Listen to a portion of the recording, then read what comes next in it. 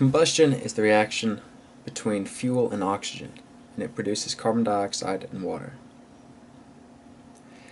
A hydrocarbon like methane, CH4, reacts with oxygen to produce carbon dioxide and water. The carbon combines with oxygen to form carbon dioxide, and the oxygen combines with the hydrogen to form water. To test for carbon dioxide, we'll use a solution of lime water, which is a calcium hydroxide. When the calcium hydroxide mixes with carbon dioxide, it'll produce chalk and water. The chalk will appear to be a white substance in the solution. Lime water starts as a clear solution and as it reacts with carbon dioxide produced from the flame, it'll turn milky. So I placed a candle inside of a beaker then added lime water. You can see the lime water is clear initially.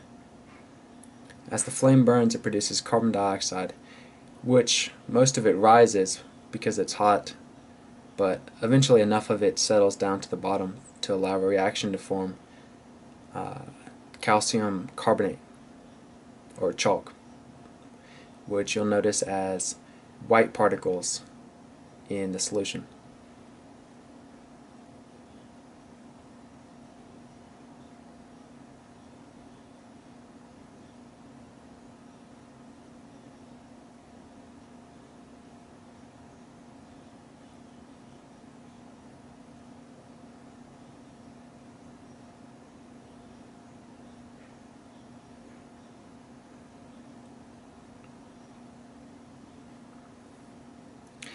There's a small piece of candle wax floating, but you can ignore that.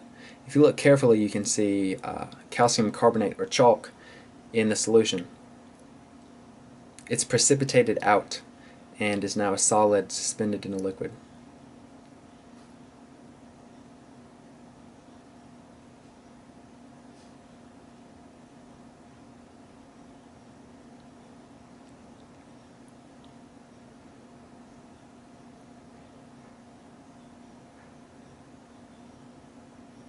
The second primary product of combustion is water, and we can test for this with cobalt chloride test paper. It's initially blue, but when it reacts with water it turns pink.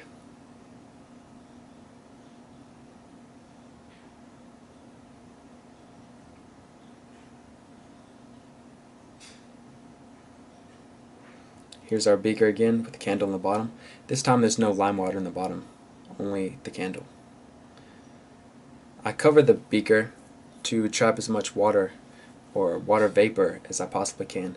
You can see after the first round uh, some condensation is beginning to form on the inside of the beaker. Uh, while it's covered, the flame begins to suffocate as it consumes most of its oxygen.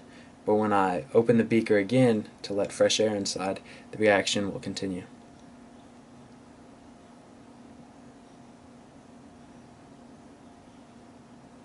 You can see more and more condensation forming on the inside. That's water vapor condensing and then turning into a small amount of liquid water, which I gather on the test strip.